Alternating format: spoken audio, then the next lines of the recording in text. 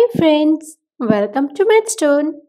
Today we will learn to find the divisors of 100. If you want to learn more about divisors, please visit mathstoon.com. Now let's do it.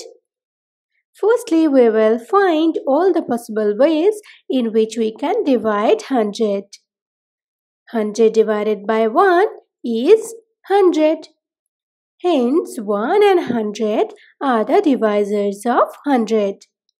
Next number is 2 and 100 divided by 2 is 50. Hence, 2 and 50 are the divisors of 100. Next number is 3 but this number does not divide 100 so we will try for 4. 100 divided by 4 is 25.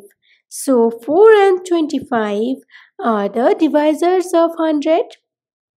100 divided by 5 is equal to 20. So 5 and 20 will be the divisors of 100. Next numbers 6, 7, 8 and 9 do not divide 100. So we will move to 10. And 100 divided by 10 is 10. So 10 is the divisor of 100. As we have obtained the same numbers here, so we will stop right now.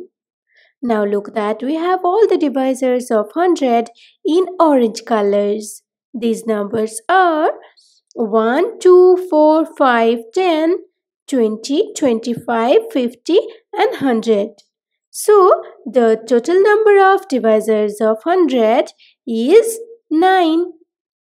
Now please give a look at these divisors. See that 2 and 5 among these numbers are prime numbers because these two numbers do not have any divisor other than 1 and this number itself.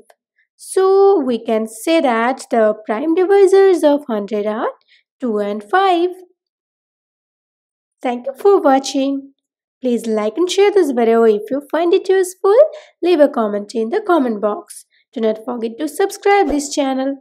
Please hit the bell icon to get notification of new videos.